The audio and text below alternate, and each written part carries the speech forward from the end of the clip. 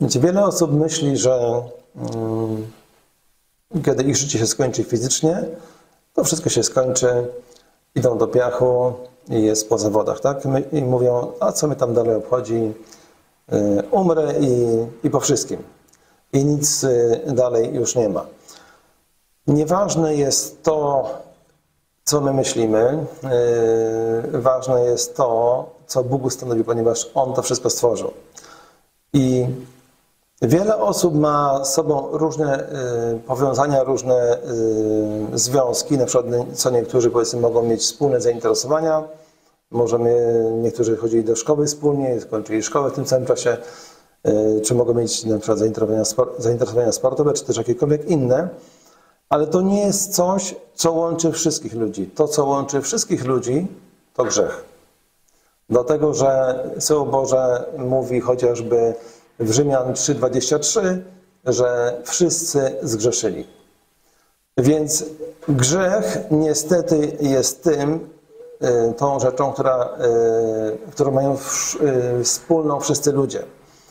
I to nie jest tak, że muszę sobie grzeszyć i, i, jakby nie ma z tym problemów, ponieważ w Rzymian 6:23 jest napisane, że zapłatą za grzech jest śmierć. Czyli jest konsekwencja e, naszych grzechów. Nieważne, czy mamy ten grzech na koncie jeden, czy mamy ich tam tysiąc, już za pierwszy grzech jest duchowa śmierć, czyli jesteśmy oddzieleni od Boga. Jeden grzech oddziela nas od Boga, ponieważ Bóg jest czysty i święty, i nie ma nic wspólnego z grzechem. Eee, I a propos tego, co na początku wspomniałem, bo niektórzy myślą, że sobie umrą i będzie, wszystko się skończy. No nie do końca, ponieważ Hebrajczyków 9:27 jest taki tekst. Jak, napisa- jak postanowiono, że człowiek umiera, a potem czeka go sąd. Czyli nieważne, czy ty wierzysz w sąd, czy nie wierzysz, on po prostu jest. I kiedy my umrzemy, będziemy osądzeni za to, co tutaj powyczynialiśmy. Jest taka e, fajna historia, która jest opisana w Ewangelii, Ewangelii Łukasza, 16 rozdziale.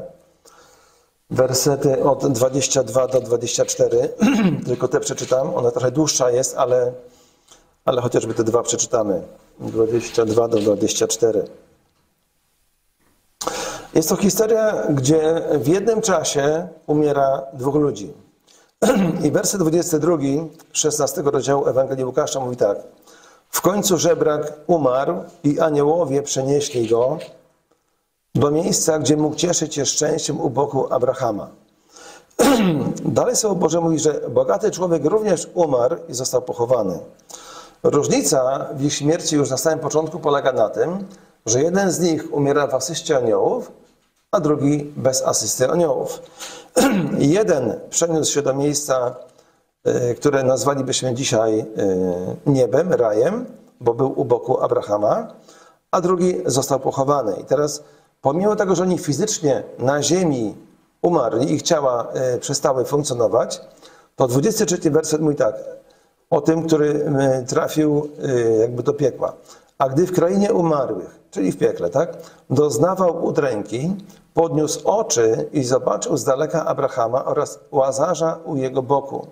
I, i krzyczy, ojcze Abrahamie, zawołał, zlituj się nade mną i poślij Łazarza, aby zanurzył w wodzie koniec swego palca i zwilżył mi język, gdyż cierpię w tym płomieniu. Przede wszystkim to Słowo Boże mówi, że, Bibli, że piekło to nie jest miejsce, jak niektórzy już takie teksty słyszałem, będzie wódeczka i, i kobiety, że tam jest po prostu cierpienie, tak? tam, jest, e, tam są męki, e, ale to pokazuje, że ci, ci ludzie, którzy obydwaj, obydwaj, obydwaj umarli, oni dalej funkcjonują, oni dalej widzą, wszystkie ich zmysły funkcjonują, oni słyszą, rozmawiają, czują. Tak? Wszystkie ich zmysły funkcjonują. To nie jest tak, że życie się kończy tu i teraz. Życie nie kończy się tu i teraz, bo gdyby ono się kończyło tu i teraz, to nasze, y, wartość naszego życia nie miałaby większego sensu. Po prostu bylibyśmy takim, nie wiem, kolejnym robaczkiem, kolejną mrówką, która coś ma zrobić, y, coś zrobi, czy tam pszczółką, która ma tam y, miód wytwarzać i po prostu umiera. Ale tak niestety nie jest. Bóg zaplanował to inaczej. Więc mm, zobaczcie, że jest coś dalej i Biblia zapewnia nam, nas, że jest coś dalej. I gwarantuje tym wszystkim, którzy nas słuchają, czy też będą kiedykolwiek słuchać, że to samo, co jest napisane w mojej Biblii, jest napisane w Twojej. I um, Biblia jest taką jakby konstytucją, yy, którą Bóg ustanowił dla, dla każdego człowieka. I nieważne, czy, to, czy ty wierzysz, że konstytucja jest dobra, na przykład Polski, czy ona jest dobra, czy nie, ale ona nas obowiązuje. Nieważne, czy się z zgadzasz z tą konstytucją Polski, czy nie, ale ona jest i jeżeli ją będziesz w jakikolwiek sposób łamał, to poniesiemy tego konsekwencje. Podobnie jest z Bożym prawem. Biblia, Słowo Boże jest takim Bożym prawem dla każdego człowieka. Jeżeli będziemy je łamali, poniesiemy tego konsekwencje. I yy, Ewangelia Czyli, czyli zobaczcie, po śmierci, tutaj z tej historii wynika taka e, konkluzja, po śmierci człowiek idzie w jedno z dwóch miejsc. Albo to jest niebo, albo to jest piekło. Ewangelia Mateusza, siódmy rozdział i wersety 13-14.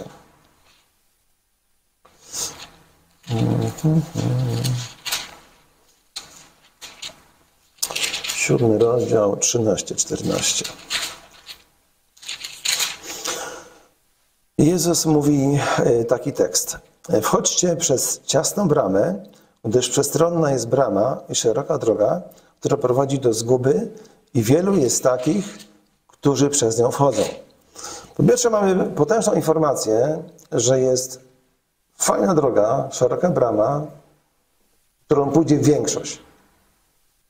No tak to już po prostu jest, Bóg o tym wie, co będzie, ale jest Ciasna, y, natomiast ciasna jest brama oraz wąska droga, która prowadzi do życia wiecznego i niewielu tych, którzy ją znajdują.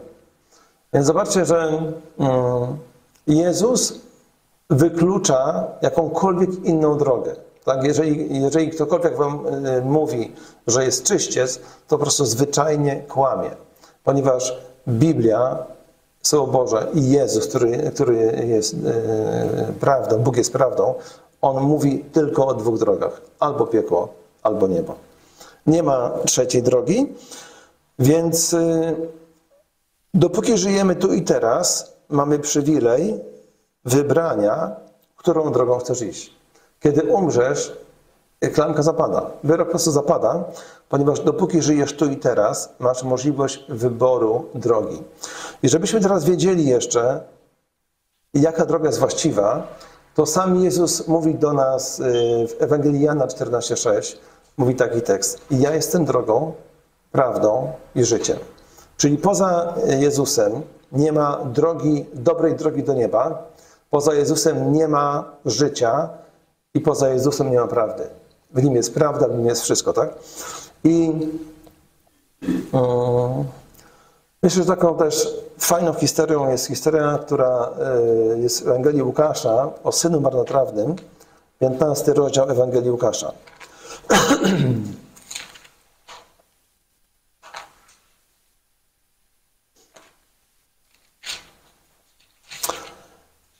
I, przeczytamy tylko sobie może dłuższy fragment od 11, postaram się.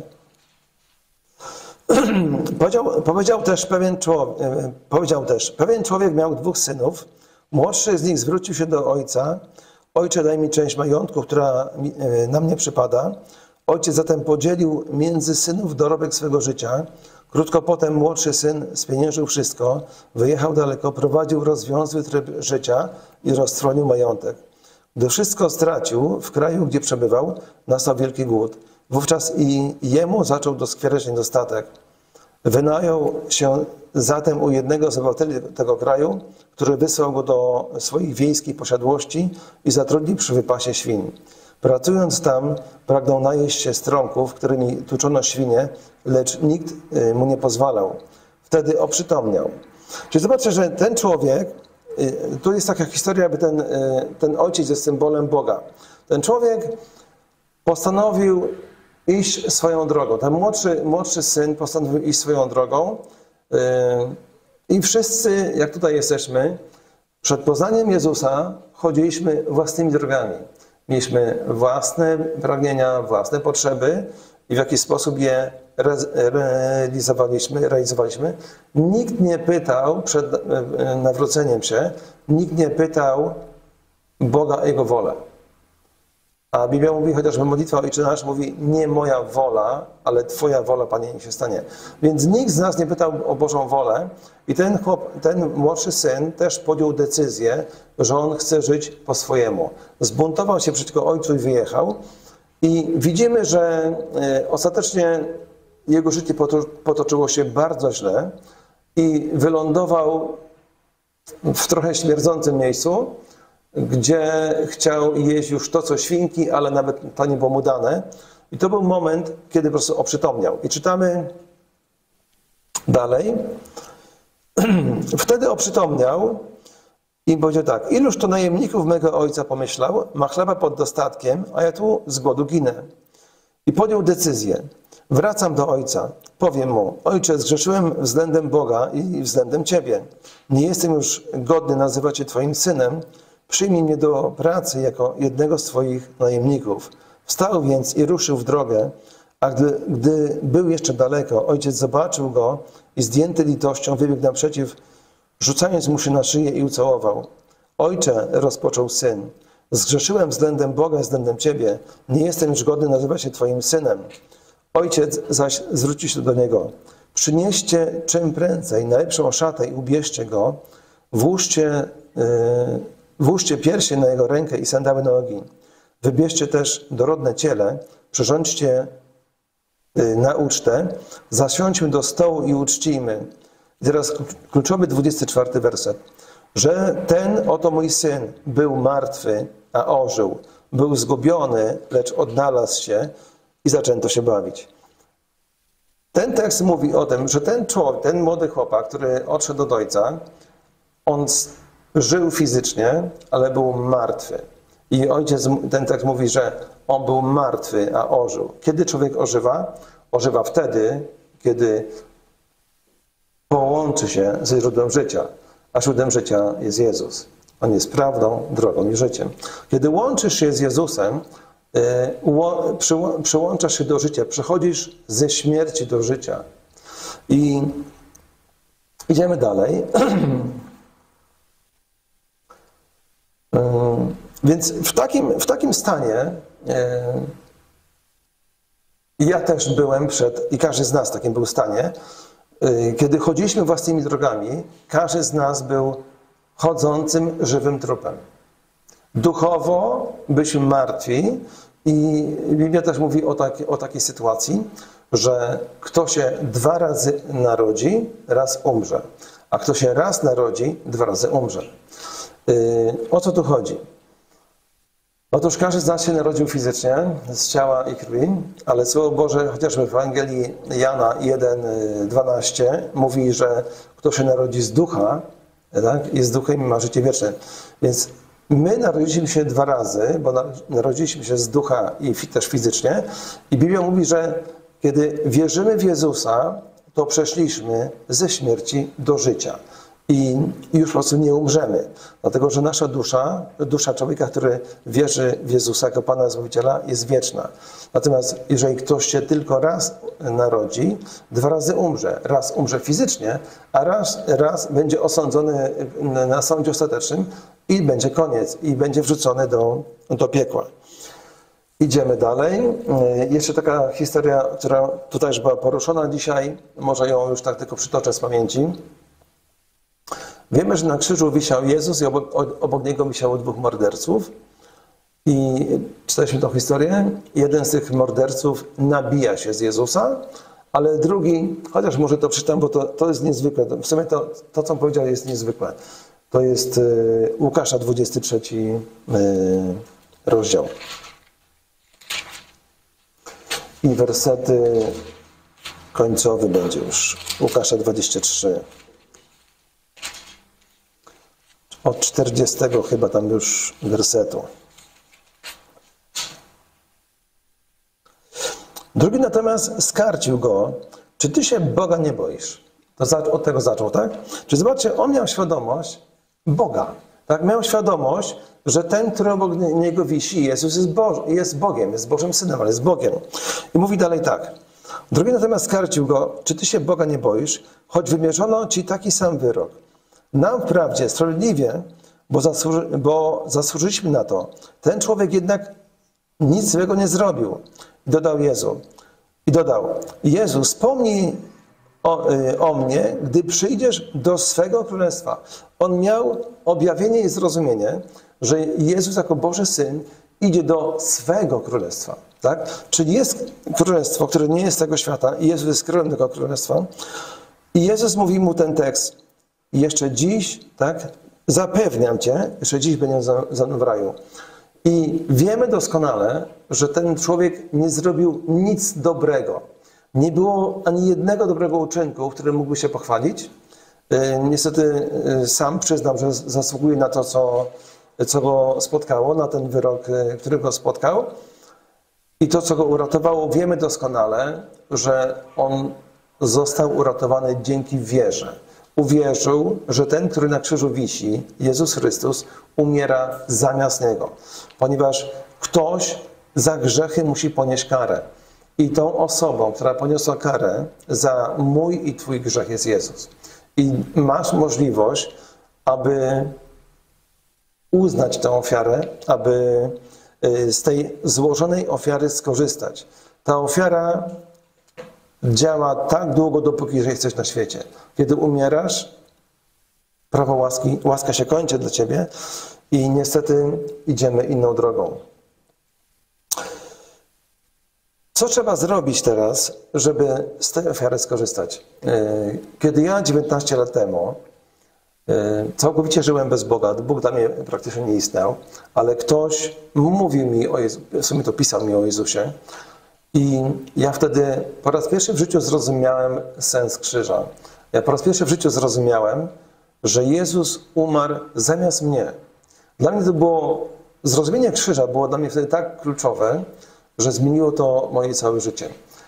Ja podjąłem decyzję, że zapraszam Jezusa do mojego życia i, i była to modlitwa krótka, mm, minutowa. Powiedziałem coś takiego. Znaczy miałem świadomość, że jestem grzesznikiem, miałem świadomość, że Jezus jest Synem Bożym, miałem świadomość, że On umarł za mnie i powiedziałem coś takiego. Jezu Chryste, wybacz mi y, moje wszystkie grzechy, które popełniłem. Przepraszam Ciebie za nie i zapraszam Cię do mojego życia jako Pana i Zbawiciela i powierzam Ci moje życie.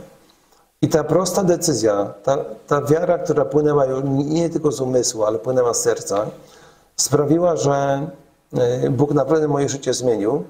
W jednym momencie, kiedy pojednałem się z Jezusem, e, zostałem uwolniony z 35-letniego uzależnienia. 35 lat byłem człowiekiem uzależnionym, pojednałem się z Bogiem o godzinie 22.20 i od następnego dnia byłem wolny. I do dziś jestem wolny. Po prostu poszło.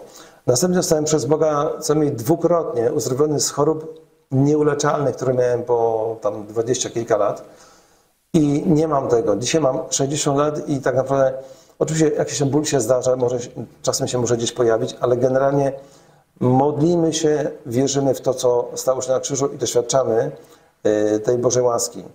Więc ta decyzja, którą podjąłem wtedy, można powiedzieć, zmieniła wszystko. Po pierwsze, do mojego życia przyszedł pokój, którego nigdy nie miałem. Po prostu nigdy nie żyłem w pokoju, zawsze czułem w lęku, w niepewności i gdy pojednałem się z Jezusem, przyjąłem Go do swojego serca, życie moje się zmieniło. W Słowie Bożym jest taki tekst y, w liście do Rzymian 10, 9, 10. Zacytuję go z pamięci, mam nadzieję, że pamiętam dobrze. Jest taki tekst. Bo jeśli ustami swoimi wyznasz, że Jezus jest Panem i uwierzysz w sercu swoim, nie w umyśle, ale w sercu, że Jezus jest Panem i Zbawicielem, zbawiony będziesz, albowiem sercem wierzy się ku usprawiedliwieniu, a ustami wyznaje ku zbawieniu. Więc jeżeli jesteś w takim miejscu, że jeszcze nie miałeś okazji pojednać się z Jezusem, to Słowo Boże zapewnia Cię, że jeżeli uwierzysz w Jego doskonałą ofiarę, to masz życie wieczne. Z czego to wynika? Chociażby z tego tekstu, który jest e, e, zapisany w pierwszym, pierwszym e, liście Jana 5, 14. I tekst jest taki: To napisałem wam, którzy wierzycie w imię Syna Bożego, żebyście wiedzieli, że macie życie wieczne. Każdy z was, dopóki tutaj na tym świecie jesteście, macie możliwość pojednania się z Bogiem i przyjęcia tej doskonałej ofiary, którą On złożył. Kto idzie szeroką drogą? Tylko tak może e, dopowiem jeszcze. Mm, Jeżeli nie jesteś pojednany z Jezusem, to możesz chodzić do kościoła, możesz e, być prawym człowiekiem, ale idziesz szeroką drogą, ponieważ droga do Ojca prowadzi przez Syna. Odrzucenie ofiary Syna mm, zaprowadzi nas niestety do piekła. Więc tylko uznanie ofiary Jezusa sprawia, że mamy gwarancję w stu procentach, bo Bóg nigdy nie, nie kłamał, mamy gwarancję, że kiedykolwiek umrzesz na tej ziemi, będziesz wierzył, że On umarł zamiast Ciebie, masz życie wieczne. To jest tak proste, tak? Bo każdy z nas w przeszłości chciał, nie wiem, zapracować, zasłużyć na, na życie wieczne. Nie da się na to zasłużyć, po- ponieważ gdybyśmy mogli sami zasłużyć na życie wieczne, to śmierć Jezusa na krzyżu byłaby bezsensowna. Nie musiałby iść Jezus na krzyż, gdybyśmy mogli sami się uratować. Więc nikt z nas, nikt z ludzi sam nie może się uratować. Dlatego Jezus jest Panem i Zbawicielem. Więc dopóki jesteś na tej ziemi, dopóki żyjesz czy słuchasz tego nauczania, Pojednaj się z Bogiem, zaproś Go do swojego życia. Niech On będzie Twoim Panem, Zbawicielem i powiesz Mu każdą drogę, e, drogę swojego, swojego życia, powiesz Mu swoją rodzinę, a zobaczysz, jakich wielkich dzieł On dokona w Twoim życiu.